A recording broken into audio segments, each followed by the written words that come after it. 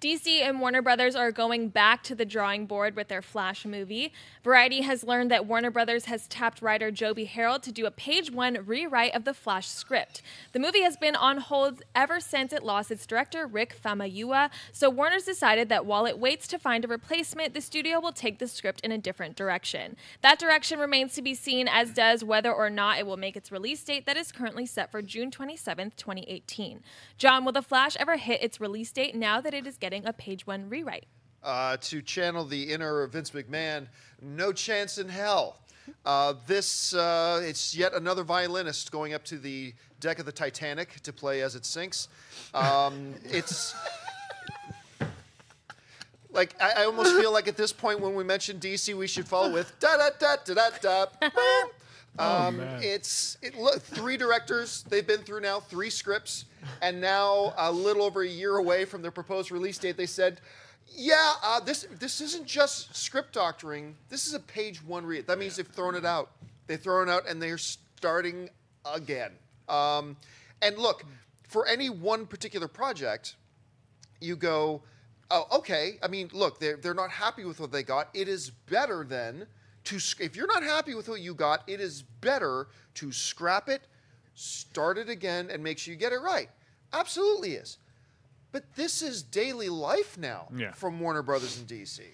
Everything is about, we're doing this. Oh, no, turns out that was a sack of shit. Now we're going to do this. Nope, we didn't like that. And we got this director. No, now we got rid of him. Now we got this director. Oh, he left because we're he didn't like us. And now we got this director. Now he's gone. We got this script. Oh, now this guy did a rewrite. Oh, now we're throwing that script out. And this is turning into the Ringling Brothers' big comeback because it's a circus. Um, it's just ridiculous. And, you know, before you get too tempted to say, you know, why are you you trashing on DC and stuff like that? I get frustrated because I am a big fan of the DC properties, and it's when you're a fan like. If the Toronto Maple Leafs, for a sports analogy, if they're losing, you don't care because you don't love the Maple Leafs. If you love the Maple Leafs, you care and you get angry. And and I, somebody who thinks Man of Steel is a masterpiece of a film, uh, and you know I'm a defender of Justice League and Suicide Squad, but they clearly divided the audiences and they were not as good as they should have been. Uh, I just get frustrated because you hear from Marvel, right? Marvel, I- keep hearing people say this too. Well, Marvel had that whole Edgar Wright thing.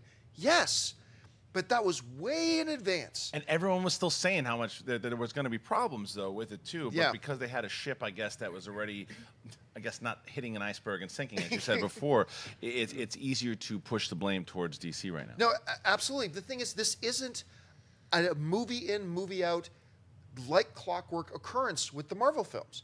Every once in a while, oh, uh, we've pushed this one release date three months, or we've we've done this, or wh- once in a while. But it feels like every single DC project. And as somebody who's a fan of DC, I'm getting really I mean you guys already know I'm getting really frustrated with it. But I'm I'm completely frustrated with it at this point. Three directors, three scripts, back to page 1 when we're a year and a bit away from the release date. I, I don't know, what do you think, Kristian? Well, first, hey, hey, Adam, can you bring that picture up again? Um, I didn't know that both uh, Liev Schreiber and Jonathan Voico had a kid. I look, look- look at that. Um, but what, what I will say about this particular, I agree with you, man. It's it's it, it, the sports analogy is is the best because it's like when in the 90s the yankees were crappy they had steve sax and jesse barfield and it was just and i'm like come on guys get, get it together and they and because they had the resources to do it they had the money to do it they just couldn't put the team together and then 96 rolled around and, and it started to work out okay we're not talking about this season um, but this is how i feel about dc it's the same thing it's like you have the material you have some of the great you your villains are far superior than To Marvel's any- villains. Way better anything Marvel Marvel's has. Your villains. villains are the Way better. best. There's so many more characters, have so much history.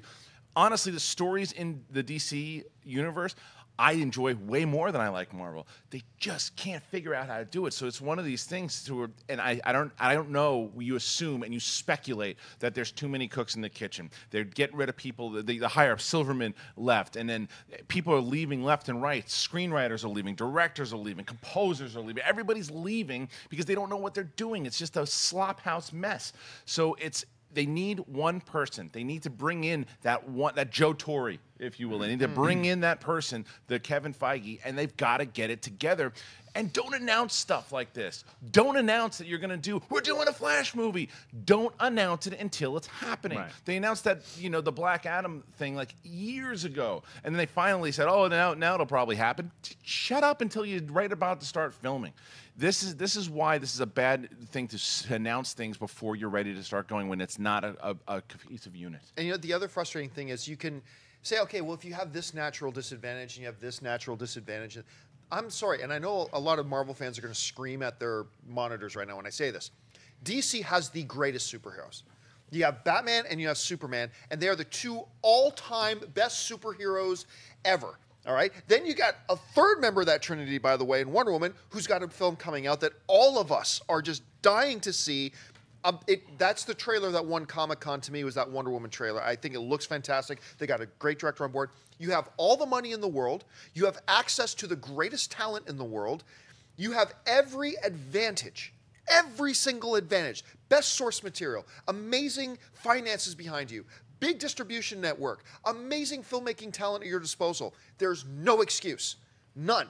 And all I can do and all any of us can do as DC fans is just wait with bated breath for that Wonder Woman movie to come out. And it's like the Yankees. Yeah. All is dim and dark until they crack one out of the park. One championship If they turn do around. that with Wonder Woman, everything will feel better. There's another great sports analogy. It says, you know, when teams have all these problems, it's usually because they're winning, they're losing. I mean, like there's there's locker room drama, people hate each other, but there's a great sports crow that says this: winning cures everything. Wonder Woman comes out, crushes it.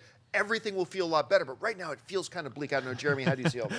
Well, I have no sports analogies. I just have analogies of family, life, and broken hopes and dreams. I want to be supportive of DC because, like you said, I'm a huge fan of DC property. I have a bunch of DC comic books. I've read them. I love the characters. It's it's very it's great material from a very competent studio. I don't know what's happening almost over there.